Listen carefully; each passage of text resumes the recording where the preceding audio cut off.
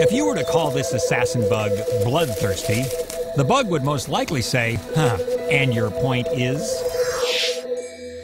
Practically from the moment of birth, in a cave in southern Belize, the assassin bug has one mission to suck another creature's blood. Take this newly hatched assassin bug baby called a nymph. To grow, the nymph must have the blood of a vertebrate. And so the nymph's first act after finding its legs is to go vertebrate hunting. A fish or reptile will do, but the nymph was born near a cave that is home for both fruit bats and vampire bats. This sleeping fruit bat will do nicely. The nymph can sense its victim's body heat. It punctures the bat's wingtip with its needle like nose and then fill her up. Like a gasoline tanker truck filling with fuel, the nymph gorges itself. Its saliva acts as an anesthetic. The bat feels no pain. In another part of the cave, a vampire bat pup is in trouble. She slid down a cave wall, attracting some adult assassin bugs. The bugs have cornered the pup on a ledge and aim the blood sucking siphons right at her.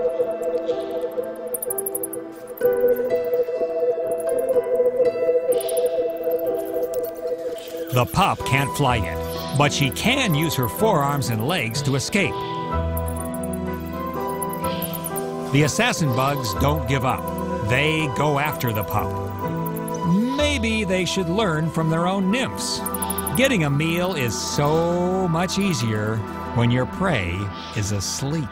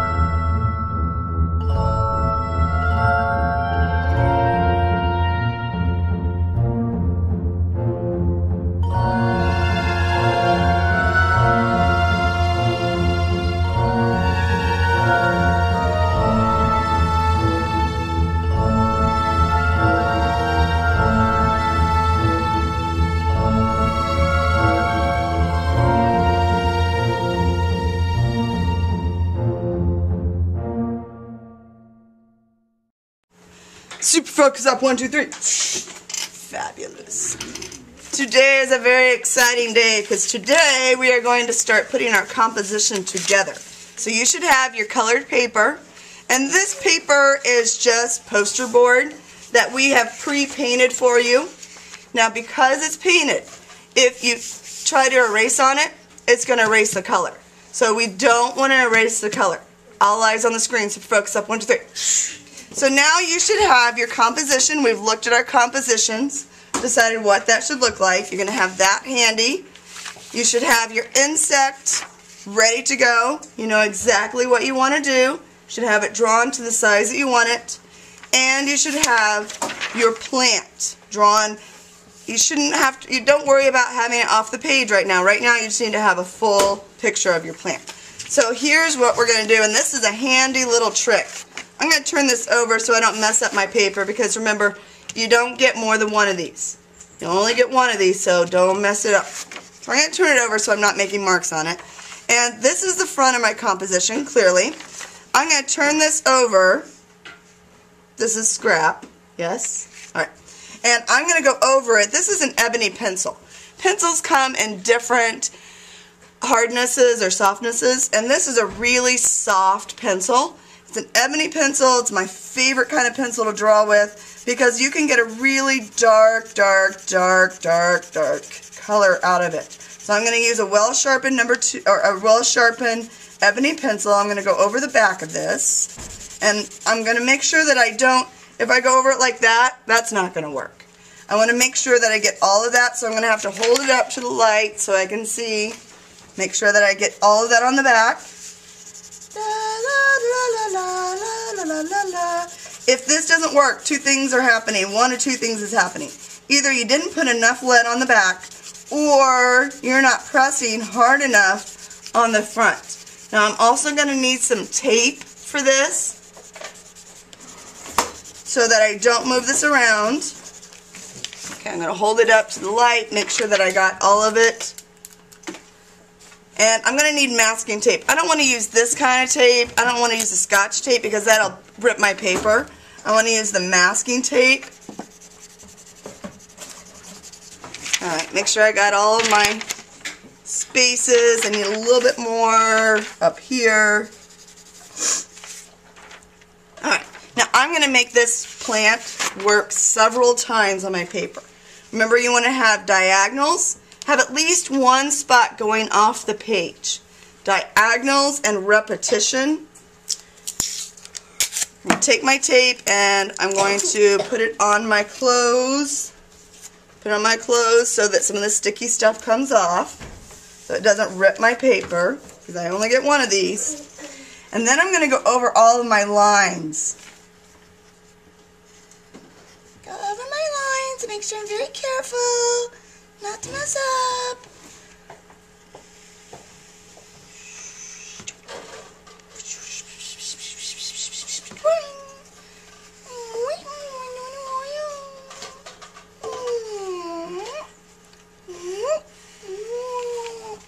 Okay, now I'm going to peek. I've got one side taped down. I'm going to peek. And there is my flower. Okay, now I'm going to reuse this flower again. I'm going to take the tape off now. I could do another one, same direction. Or I can turn it over so I'm going to have a slightly different picture here. And I'm going to make this one at the top. Tape it on. And I've just gone over the lines on the other side with this ebony pencil. So I know that there's plenty of lead on the other side to transfer. And now I'm going to go back over it. And this time I'm just going to do a rubbing. Making sure that I'm getting on there well enough. You can do this with a number two pencil as well. A number two pencil will work. But this is a lot darker. And I like this one better. Okay, now this, as long as you can see that flower, that's fine. Because then you're just going to go over your edges again and straighten that up. So now I'm looking at my composition as I'm doing this, trying to figure out where everything goes. And on this composition, there's a flower going this way and another flower going that way. I'm going to come back and darken that in again.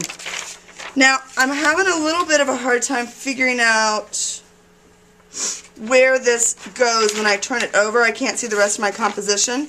So I could take a pair of scissors and now like cut this a little bit closer so I can figure out where things are going. I figure out where things are going because I'm just confused. Alright.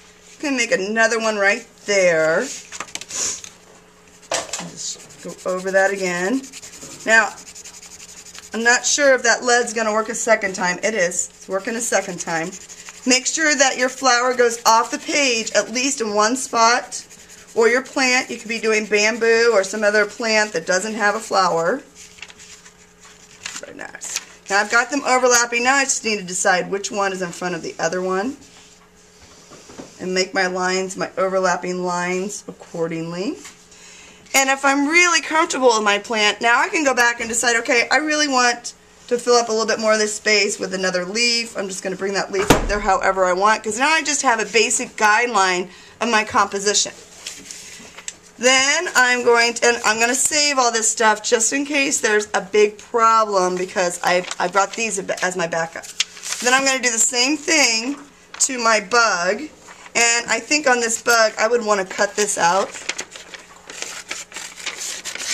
I'm going to cut this out and do the same thing on the back. Put the lead on the back, place it where I want it, and transfer it.